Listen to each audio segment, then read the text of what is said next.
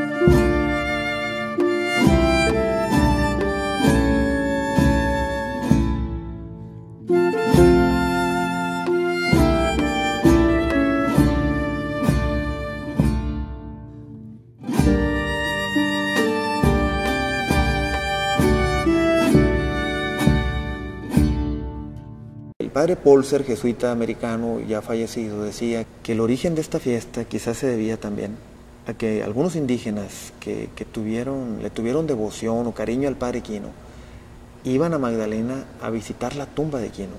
Algunos creen que este es el origen. Y hasta la fecha, ¿no?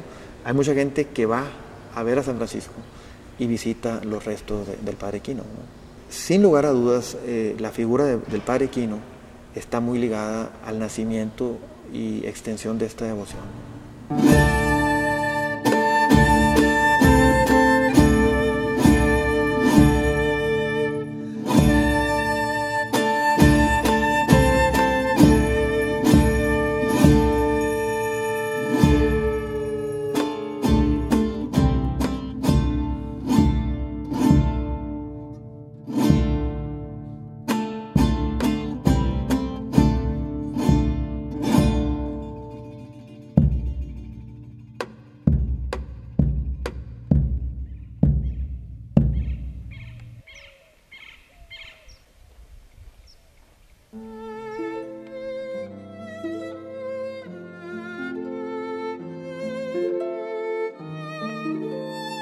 Eusebio Kini Luki nace en Segno, pueblo cercano a la ciudad de Trento, en el norte de Italia. No se ha podido determinar la fecha exacta de su nacimiento, pero se sabe que fue bautizado en la parroquia de Torra el 10 de agosto de 1645. Dos años antes de su nacimiento, en 1643, moría en México a los 88 años el padre Pedro Méndez, responsable de crear las bases misionales en Sinaloa y Sonora, con los yaquis, los mayos, junto a otros padres de la Compañía de Jesús, y así iniciar la obra que completará muchos años después nuestro padre Eusebio.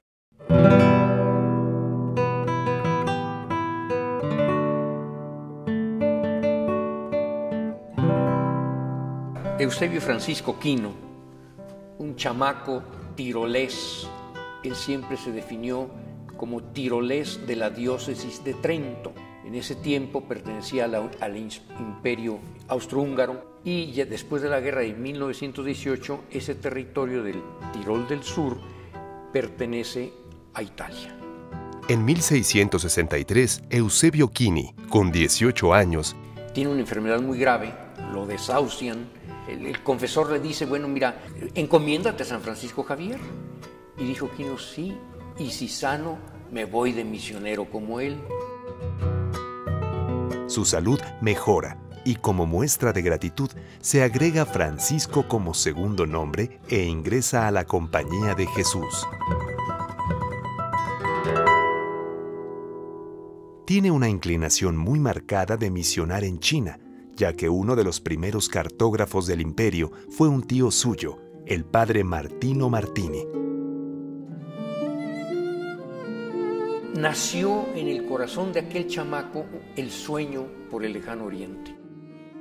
Quino siempre quiso ir al lejano oriente. Con casi 13 años de formación jesuita en Alemania, Quino se encuentra con el padre Antonio Kirschpamer, que también deseaba ir a misionar a Oriente. Hay un solo lugar para ir a China y dos candidatos, Antón Kirschpamer y Eusebio Francisco Quino. No se ponen de acuerdo y deciden echar en un sombrero un papel que diga Filipinas que era la puerta para la Gran China, y México. Hacen oración, agitan el sombrero y aquí nos México.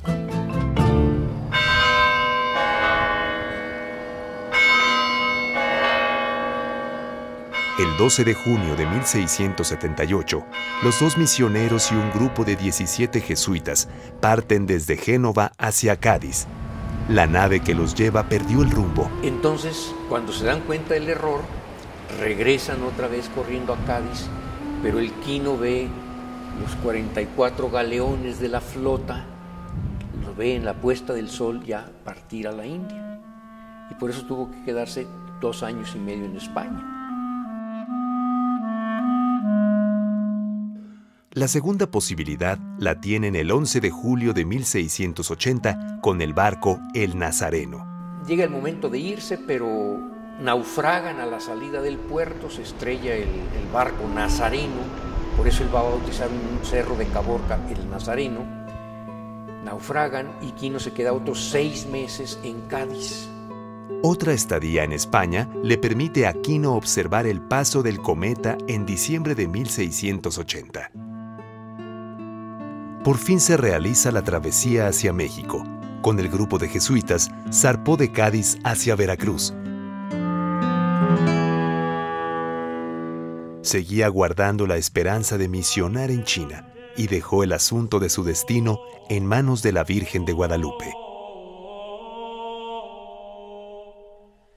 Por algunos meses, cada semana iba a decir misa al santuario del Tepeyac. Pasa un tiempecito en la Ciudad de México que está positivamente conmocionada por el cometa de 1680. El científico y humanista don Carlos de Sigüenza y Góngora publica su Manifiesto Filosófico contra los Cometas. El padre Quino vivía en el Colegio Máximo de los Jesuitas, San Pedro y San Pablo, en la Ciudad de México. Entregado día y noche a la redacción de su libro, escribe su primera obra, la única publicada de Quino, que es Exposición Astronómica del Cometa. Lo que crea un conflicto con don Carlos de Sigüenza y Góngora sobre la importancia del paso del cometa. En esta discusión entró a favor de Quino Sor Juana Inés de la Cruz, que le hace un espléndido poema. Ícaros de discursos racionales, hasta que al tuyo, Eusebio Soberano, les dio luz a las luces celestiales. Este documental trata de acercar aspectos de la espiritualidad del Padre Quino. Nos dice en su libro, y atribuiremos estas nuevas conquistas espirituales y temporales de estas nuevas conversiones a los favores celestiales. Transitaremos estos caminos del desierto de Sonora y Arizona que cabalgó nuestro incansable misionero. Favores celestiales Padre Eusebio Francisco Quino, Sonora, México.